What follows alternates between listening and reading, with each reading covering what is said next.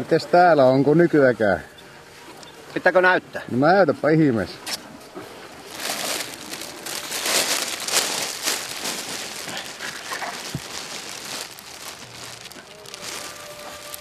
Tuotahan kelpaa jo esitelläkin. No, joo.